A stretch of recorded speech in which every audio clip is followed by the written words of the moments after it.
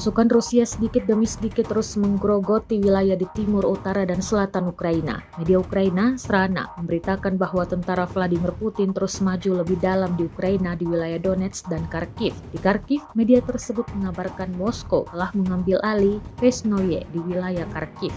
Kementerian Pertahanan Rusia sebelumnya juga telah mengabarkan perebutan Pesnoye, namun penerangan publik militer Deep State baru menuliskannya pada Kamis 25 Juli 2024. Deep State juga mengabarkan bahwa pasukan Rusia terus maju ke arah sungai Oskol. Desa terdekat Kolesnikovka berjarak sekitar 6 km dari Petsnoy dan sekitar 8 km dari Oskol. Sementara di arah timur Ukraina, Rusia terus mendesak pasukan Volodymyr Zelensky di arah Pokrovsk, Donetsk. Moskow mengembangkan serangan dari desa Volchet dan Novoselovka.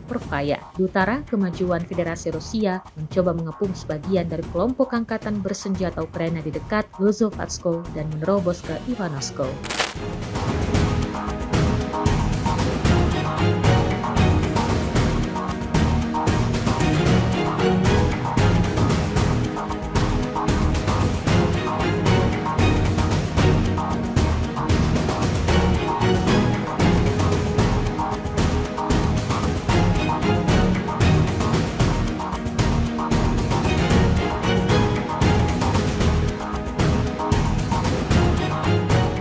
Download Tribun X sekarang.